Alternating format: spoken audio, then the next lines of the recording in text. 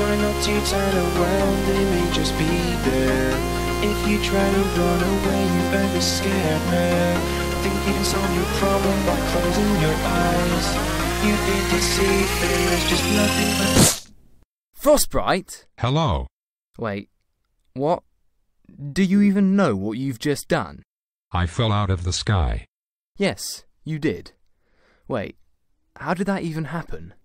Well, I was in a hot air balloon, but then I stepped out onto a cloud.